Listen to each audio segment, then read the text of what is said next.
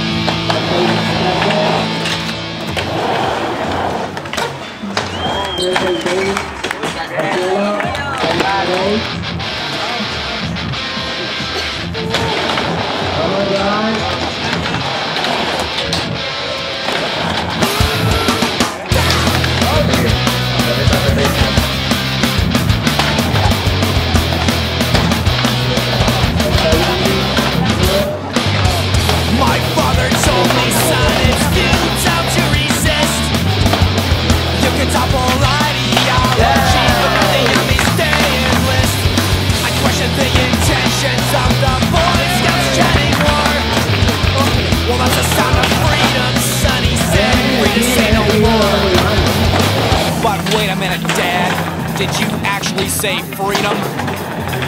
Well, if you're dumb enough to vote, you're fucking dumb enough to believe it.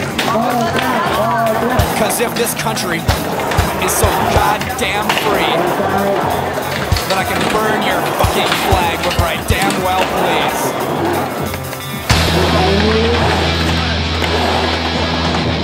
And then I'm gonna stick it up your fucking